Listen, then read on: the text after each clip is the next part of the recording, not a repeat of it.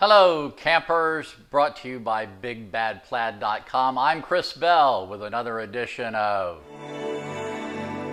Cocktails with Chris.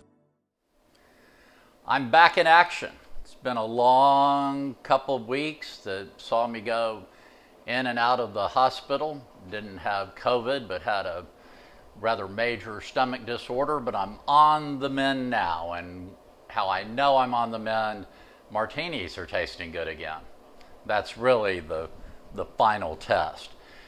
But while not feeling well, I started binge watching Ozark. And I know it's there have been like three seasons, so I'm a little late to the game, but have been enjoying it greatly. And in the very first episode, I learned something that I thought was very, very interesting that if you're trying to escape from a Mexican drug cartel and disappear off of the earth completely, one of two ways that you're most likely to screw that up after you've changed your identity and uh, all the paperwork and everything else. One is if your kids get sloppy on social media, and the second is if your wife has one lemon drop too many with her new best friend and decides to share. So I heard about that, that lemon drop, and I thought, I want to know more about this female truth serum. And so I started researching it and learned that it, there's a great story behind it. Norman J. Hobday was an out of work Vietnam veteran back in the 1970s and he's the one who invented the drink. But along with the drink, he also invented what came to be known as a fern bar. He had plants and Tiffany lamps inside the bar, and it became a craze for, for two decades. Those types of bars were very attractive to upwardly mobile urbanites, and uh, along with fern bars, the popularity of the lemon drop uh, grew and grew and a lot of people refer to it as a lemon drop martini. It's not uh, a martini. Its closest relative is called a Crusta that originated a long time ago in New Orleans that also had a sugar coated rim. So let's get started because that's the first step and the, the most important. You take your coupe glass or whatever you're going to serve in and a, a wedge of lemon and you you run it across the rim of your glass just like you would a lime with a margarita glass if you were going to have a salted rim on your martini. And then you have a plate with sugar on it, dip it in, and you want to make this the first step so that you give the sugar as long as possible to to dry along the rim. So it looks good in terms of sugar on the rim.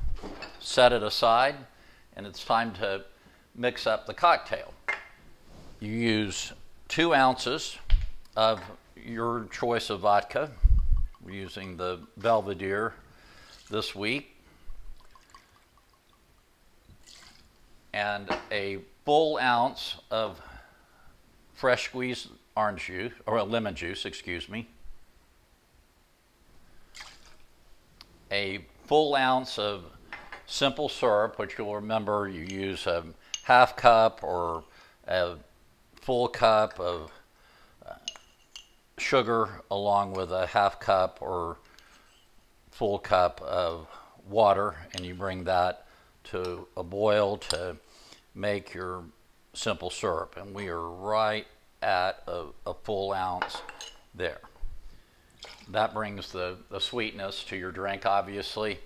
And for the third ingredient, you can use either triple sec or Cointreau. And I'm going to use Cointreau, and it is only a, a half ounce. And that brings, uh, obviously, a little more alcohol, a little more boost to the drink, but uh, it, it also brings some orange flavoring with either triple sec or Cointreau. Then you add ice to the drink, to your, to your shaker.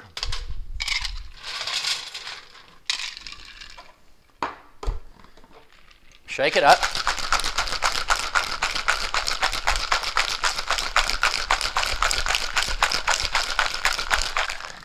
And you're ready to serve. Bring your glass back over. Pour in the goodness.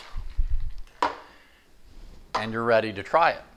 Now, some say when you're mixing up a batch of lemon drops that some people like to forego the sugar on the rim. It's strongly advised that you don't do that because that gives you the, the blast of sugar before the citrus and the sweetness and, and everything else. So let me give it a try.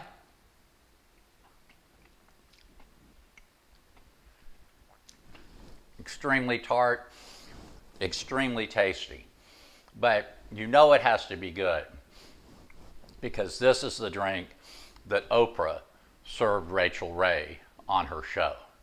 And you're just not going to serve up just any old cocktail to the Rachael Ray. I think you'll really enjoy it.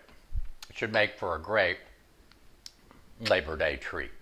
So, as always, I would ask you to subscribe when my picture appears, me in the orange shirt up here in the corner. Please click on it, and that way you can become a subscriber and join us every week here on Cocktails with Chris. Have a great week.